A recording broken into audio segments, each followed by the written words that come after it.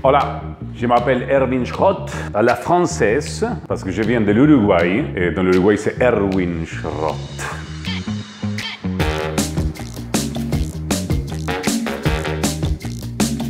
J'adore les sons des enfants quand ils rient.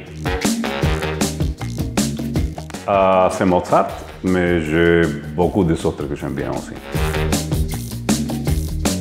J'ai déjà tellement en quantité immense de bonheur, de honneur aussi, de interpréter les œuvres que j'ai faites, que je, je crois que je n'ai pas besoin vraiment de, de penser, de, créer, mais, mais, mais, mais, que ma place c'est d'interpréter. J'aurais besoin d'avoir 10 ou 12 ou 15 lives pour interpréter toutes les choses que je vais interpréter parce qu'ils ont été des compositeurs qui ont fait tellement de grandes choses et tellement en grande quantité aussi.